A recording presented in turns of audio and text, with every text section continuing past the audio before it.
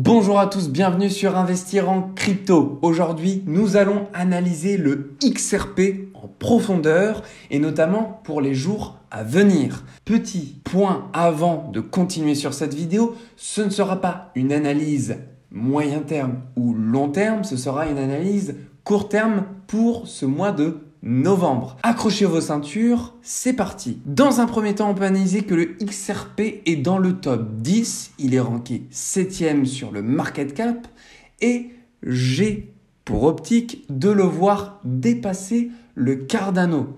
Déjà, pourquoi il pourrait le dépasser?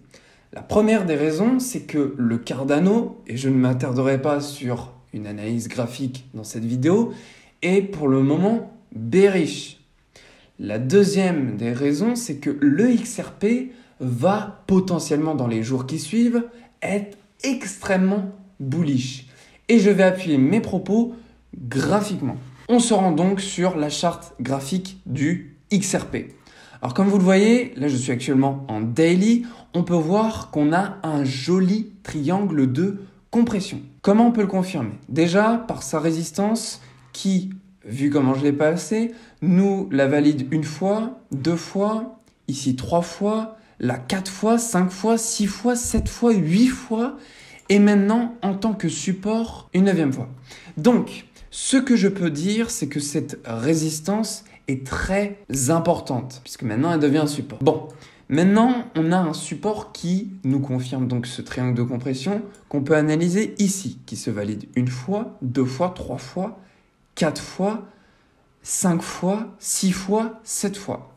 On peut placer ces trendlines de manière différente. Hein. donc cette résistance-là, euh, pas celle-ci. Hein. Celle-là, j'aurais pu la placer de cette manière et la mettre comme ceci, par exemple. Sauf que, comme vous le voyez, la placer ainsi, elle n'aurait été validée que trois fois. Et ce qu'on euh, cherche, nous, c'est avoir un maximum de validation pour avoir un point d'appui puissant. Donc, partie de ces trendlines tracées. Qu'est-ce qu'on peut en déduire? On peut en déduire donc graphiquement un triangle. Qui dit triangle, qui dit objectif. L'objectif de ce triangle, on va l'analyser juste après. D'abord, si on dézoome un petit peu, on peut voir qu'actuellement, le XRP est dans un canal haussier. Canal haussier qu'on analyse très rapidement avec une résistance ici qui se valide plusieurs fois, un support là qui se valide également plusieurs fois. Et là, aujourd'hui, on est vraiment en bas de ce canal et on est vraiment en train de frôler le support d'un canal haussier qui est quand même présent depuis juin 2020, un an et demi. Donc aujourd'hui, si vous n'avez toujours pas investi dans le XRP, est-ce que c'est le bon moment? Je ne répondrai pas à cette question, je pense que vous le savez déjà. Maintenant, euh, il y a un autre support que j'ai à vous montrer. C'est un support que j'ai brièvement dessiné, peut-être pas avec le bon outil, et c'est pour ça qu'il faut que je place très correctement et proprement le graphique pour le voir. C'est un support parabolique. Alors regardez, par rapport à support, on voit que ça touche une fois, ici deux fois, là trois fois, et dernièrement une quatrième fois. Donc ce support parabolique est validé. Euh, donc si on s'en tient à déjà ce support qui forme donc une sorte de parabole, euh, on peut voir que d'ici les jours à venir, le XRP ne restera pas dans ce canal et notamment en frôlant son support. On voit qu'il commencera tout doucement à décoller. Mais de toute façon, je pense que le XRP ne suivra pas tout bêtement ce support et qu'il décollera bien avant. Et j'appuie mes propos tout de suite grâce à ce triangle de compression et son objectif. Pour confirmer l'objectif du triangle que je vais vous dessiner, il y aura deux indicateurs qui me permettront de valider cet objectif. Donc premièrement, on a l'objectif du triangle. Alors, je vais prendre le bas au moment où le triangle a été percé jusqu'à la résistance. Je vais reporter cet objectif là où on en est actuellement, pas ici, mais bien sur le support du triangle, puisque avant c'était donc une résistance, mais maintenant ça en devient un support, ce qui pourrait nous amener un XRP à 1,7 dollars, ça c'est le premier indicateur qui nous permettrait de dire que le XRP pourrait aller jusqu'au 1,7 dollars. Et ce qui pourrait confirmer cela, c'est le retracement de Fibonacci.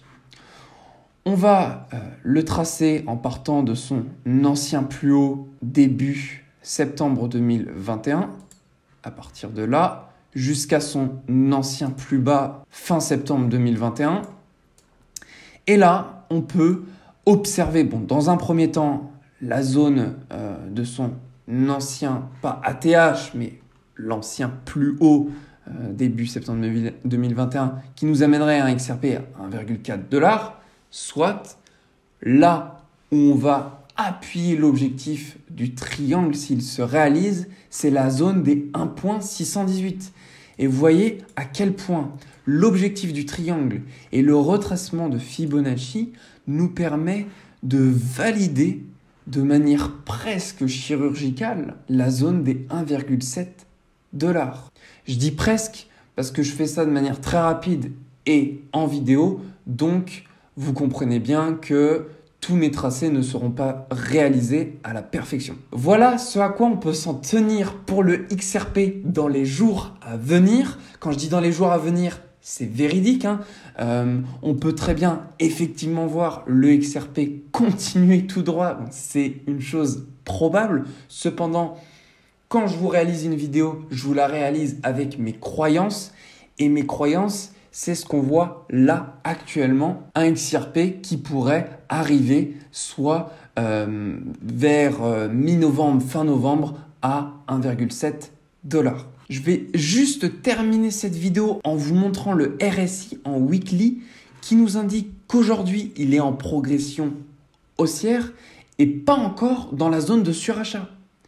Ce qui fait que, imaginez bien, dès lors que le XRP va commencer à monter au niveau du RSI et même passer en zone de surachat, on pourrait vraiment le voir atteindre des sommets affolants, encore plus haut que ce que je vous ai indiqué, puisque ce que je vous ai indiqué est à court terme. Hein. Là, euh, une zone de surachat pour le XRP, personnellement, je ne le vois pas avant quelques semaines, voire mois. Voilà, c'est terminé pour cette vidéo euh, sur le focus de XRP. J'espère qu'elle vous aura fait plaisir, j'espère qu'elle aura pu vous ouvrir l'esprit sur euh, ce à quoi on pourrait s'attendre en termes de valeur pour le Ripple. Je vous souhaite à tous une très belle soirée ou une très belle journée en fonction de là où vous regarderez cette vidéo. Prenez soin de vous.